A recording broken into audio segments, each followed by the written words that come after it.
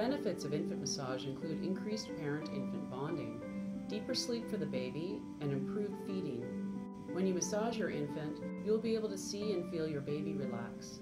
It is best to do a massage when the infant is already quiet and calm, or even sleepy or asleep. Infants respond best to leg and foot massages, which is what is demonstrated in this video. Here are the steps to doing an infant massage for legs and feet. We recommend using the emollient Aquaphor.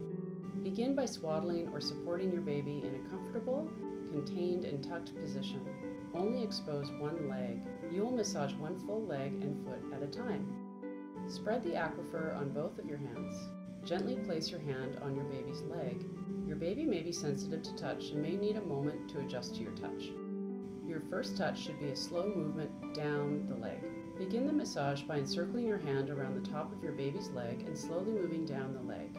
Keep repeating this with one hand over the other, applying continuous smooth strokes. These movements in the direction away from the heart are very relaxing. If your baby is a tiny preemie, use your fingertips. Try to get as much skin contact as you can, covering as much of the little leg with your fingers as you can. The next massage movement changes from a downward slide to one that goes across the leg. Slide your hand downward, then upward as you see here. Move in this way from the top of the leg downward toward the ankle. Repeat this motion several times. Add more Aquaphor if you need to. Now massage the foot. Slide your thumb or hand repeatedly from your baby's heel to the toes.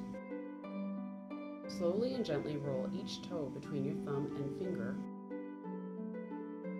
Slide your thumb or hand downward from the toes to the heel. Gently press your thumb along the sole of your baby's foot, moving from the heel to the toes. Now we will begin to go back up the leg. Slide your thumb or finger downward along the front of your baby's foot, moving from the toes to the ankle. Make small circles with your finger around your baby's ankle. Next, encircle your hand around your baby's leg and slowly move upward from ankle to top of the leg. If your baby is a tiny preemie, use your fingers, covering as much of the little leg as you can. Next, place both hands perpendicular to your baby's leg and gently roll your hands upward and downward. Gently tuck the leg into the swaddle blanket. Spread more Aquaphor on your hands and offer the same massage movements to the other leg. When finished, let your baby know how much you enjoyed offering this relaxing massage.